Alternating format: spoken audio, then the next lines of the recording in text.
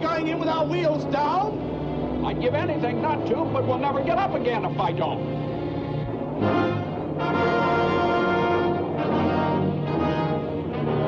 No, I suppose not.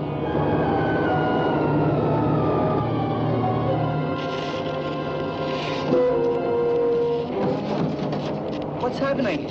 What is it? The lights are shorting out. It's going to start a fire.